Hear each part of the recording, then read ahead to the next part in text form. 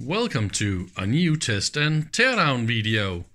This time it's a Hameg oscilloscope dual trace HM312-8. This one is from my German friend Klaus. So vielen Dank Klaus. It is in mint condition. Look at how beautiful it is. Looking like brand new. I think this model is from about 1980. So that is what 42 years ago. Maybe they made this model uh, over quite some some years. So it is hard to guess exactly how old this one is. But listen to the contact feel. It is really, really nice. So, so I really like the switches here. Let's power it up and see if it works. I am ready to push the button. 35 watts. And uh, where's the trigger oh yeah yeah yeah. Look at that there's definitely a nice bright line. Okay. So we are in two channel mode. Yes definitely. All that seems to be working quite well. So this is oh hello. Okay so this is two channels and then this is alternating or that is a little bit weird what it's doing here. So here you select between the two different triggers. I don't know why it is doing this. Okay that means maybe there's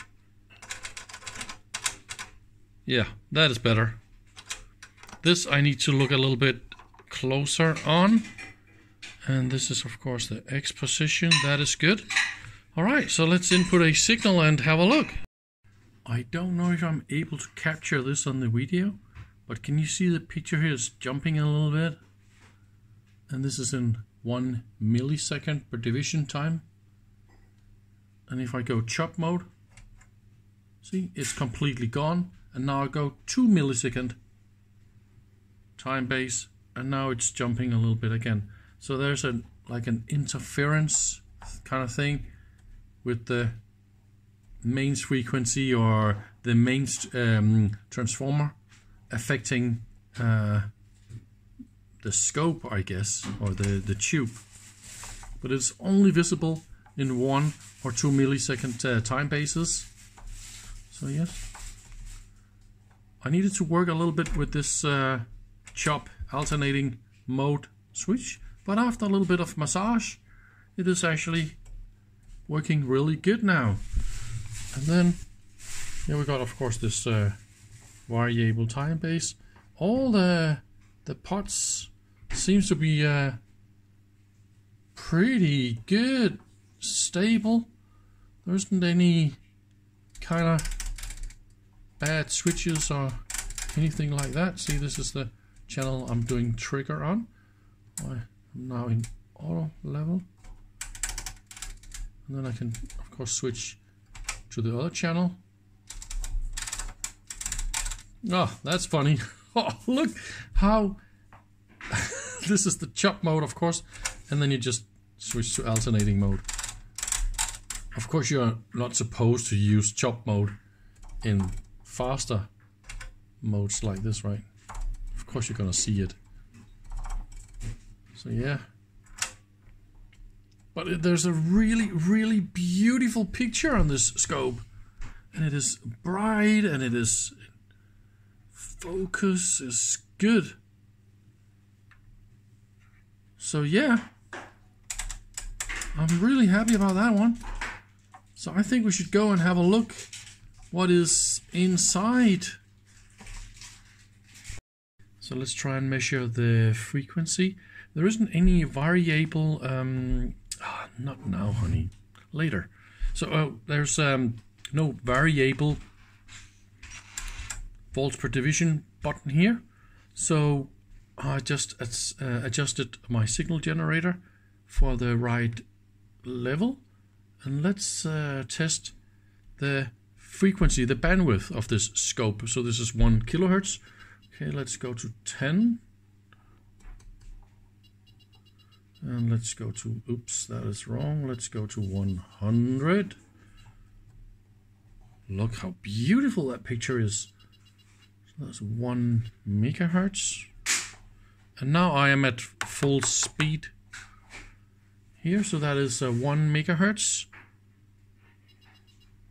And oops, see what we got here. That is 1920 megahertz.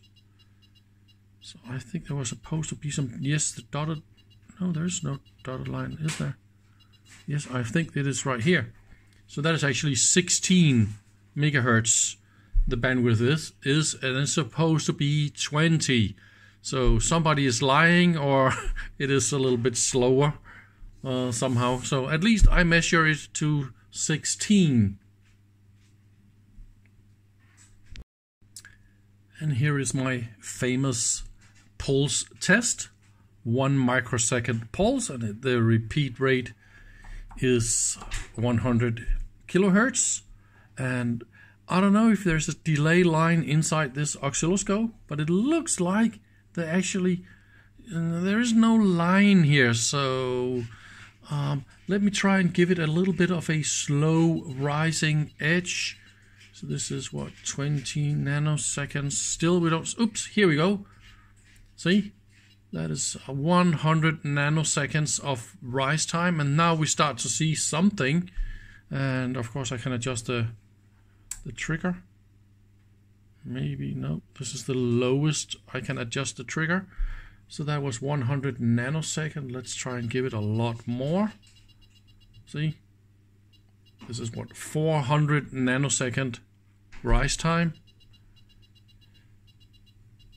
So actually we we can see that the yeah that was 40 30 nanosecond and the pulse is completely gone. So yeah, I don't expect to see a uh, delay line in this one, but let's uh, go and have a look. Let's look a little bit inside. It is a little bit dusty. Input transistors, they're paired and matched to temperature for low drift. So that is super, super good and also very important.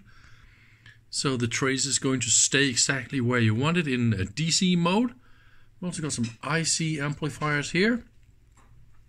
Uh, remember I complained a little bit about the switches here in the front uh, having a little bit of um, loose connections and stuff. I know exactly now why. I don't know if you can imagine all this kind of dust here. And those, all three, they're actually open contacts. So all this dust is also going to go directly into the contacts. See, if only they put a little plastic piece around here with a tiny hole for the black lever here, right? Then dust wouldn't go into the switch. And we wouldn't have this problem. But of course, the, it's super easy to clean them, so this is what I'm going to do. Anyway, now it's open. I'm also going to yeah clean all, all this dust, of course, so it's going to be nice and shiny again. So that will be the chop or alternating switch and this is uh, channel 1 or dual channel mode so this is the chop oscillator and the chop uh, switching system vertical signal is going all the way up here on the back panel uh, or back PCB it's also containing all the power supplies and all the good uh, tube stuff, uh, high voltage kind of stuff. Let's get some better light here. And that will be, of course, deflection transistors and horizontal and vertical transistors and all that stuff is uh, right here. And uh, there's actually one thing I really found funny. Look at that. Do you recognize this piece of plastic? This is not normally used to protect uh, the rear side of, of, a fuse for high voltage. This is a mains input and mains uh, fuse. This piece of plastic is actually a loudspeaker uh, piece of plastic. that is so funny to see that piece used uh, right here. Um, so this kind of uh, loudspeaker connector was also very, very popular in uh, German products in the 80s. And yes, this unit is definitely from the 80s. Look at that. 0680. And you always find, uh, or always or almost always uh, find, very often you will find uh, date codes on CRTs. Let's look a little bit on the rear. That'll be time base adjustments. And again, the switch is quite open, so it could be polluted with dust and stuff. Mains transformer. Again, it's very, very good design when you see a mains transformer on the other side of a solid uh, metal wall towards the CRT. So this is a very good idea. And the two channel inputs. Uh, of course, we see a lot of uh, trimmer capacitors. So it's possible to adjust the bandwidth of the different uh, voltage ranges. Good isolation between the two channels with solid metal walls. So that is also good. This one is mounted so it's good and stable. This one is a little bit flimsy flamsy. Open switches. So that is easy for us to clean. But those uh, all, all this stuff here at the bottom is not collecting any dust. So see how nice and clean it is in here? And that is because this is completely closed uh, inside the cabinet. Uh, we only get dust on the top part. So let's look on the other side of the PCB here. Yeah, we got a lot of auxiliary power supplies, uh, voltage regulators, and all that kind of stuff. And again, nice. Long, a little bit flimsy flimsy here, but as long as it's completely straight, I mean, it actually does work. Mains power switch is located up here and oh yeah we actually got mains power going all the way up here. It is inside kind of this piece of metal here so it is a little bit away from all sorts of good and bad stuff. So that is probably yeah the horizontal going that way. But it's, it's beautifully built. And if you drop this the scope the heavy transformer is going to hit the bottom of the case. This is I, I mean just a millimeter over the bottom frame. So it's not going to bend the case or anything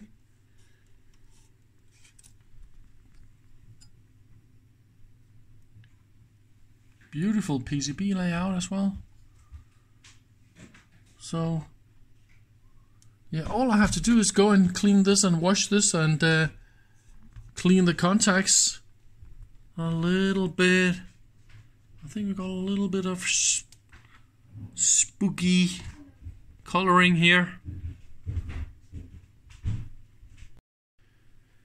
After a little bit of cleaning, and the PCB and all the dust is completely removed. I also cleaned all the contacts and all the pots. Now we can really enjoy the beauty of this design.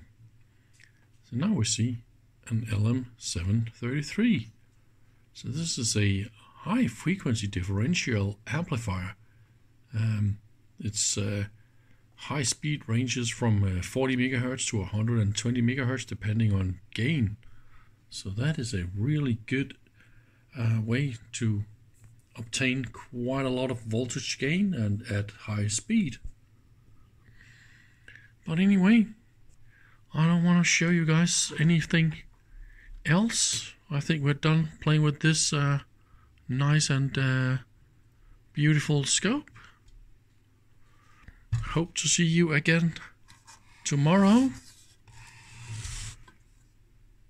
Bye bye.